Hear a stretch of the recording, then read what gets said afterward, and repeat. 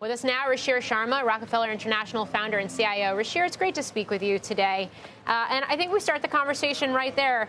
When we talk about this mini miracle, what are we talking about? Why is it fleeting? Well, I think that first we have to acknowledge the fact that at this time last year, most economists, for the first time in history, were predicting that America would have a recession. Um, why I say first time in history is because economists have never predicted a recession as a consensus. So we had that prediction at this time last year. Instead, what we ended up with was economic growth, which in this quarter could top 3%. And we have never had a period in history where the gap between the consensus and in terms of what's turned out to be um, as far as economic performance is concerned of America has been this large. So first, let's acknowledge that that we've had the, something really nothing short of a mini economic miracle as far as America is concerned.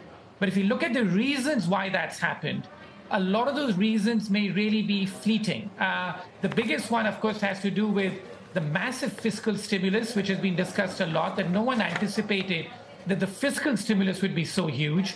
And then, of course, the consumer has ended up being much more resilient here in America compared to uh, Europe or Japan, where a lot of the excess savings are still there. But in America, they really run down the excess savings, and that has given a big lift to the economy out here.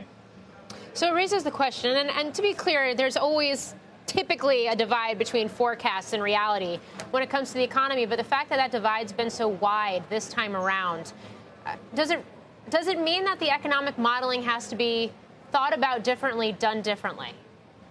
In some ways, yes, because I think that uh, what a lot of us have not taken into account is how the financing structure has shifted uh, in America. What do I mean by that? Well, a lot of financing now is either in the private markets or, of course, as far as the consumer is concerned, it's much more locked into long term financing out there. So, in fact, as someone put it, that the American consumer now uh, finances long and yet invests short with so much in uh, short term deposits. But if you just look at the whole structure out here, which is that it takes much longer, I think, for monetary policy to have an effect under this structure. So typically it would take about 18 months when you would start to see monetary policy have a serious effect. This time the monetary policy tightening has been even greater.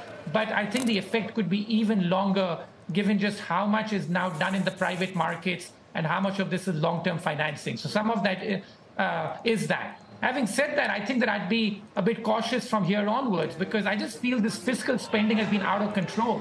We have never seen fiscal spending of this magnitude in America. And I think that that is bound to taper from here. And that I think could be a big drag for economic growth going ahead, especially because this time interest rates are unlikely to come down much when economic growth weakens. So you're not going to have much of a counter effect to this uh, tapering off fiscal stimulus over the next few quarters. Are you arguing, Ruchir? Would you go so far as to argue that the reshoring effort and the cost associated with it was a mistake? Yeah, I think that in terms of just what's being spent is a mistake, Carl. Let me just uh, consider this that America ran budget deficits of about 3% of GDP for much of the last decade. That was in line with other developed countries. What are we doing here now? We are running a fiscal deficit or a budget deficit now of 6% of GDP. It's running over 8% for this year, but the trend rate is about 6% for the next few years, the CBO projects. That is a staggering number which no other developed country is currently running. So we have really taken our uh, privilege as being the world's reserve currency to another level here now by running fiscal deficits and expecting the world to finance that for a long period of time. And it's quite possible the bond market, uh, after a long time, is beginning to get worried about that. And so, therefore, you're seeing higher rail rates across the curve.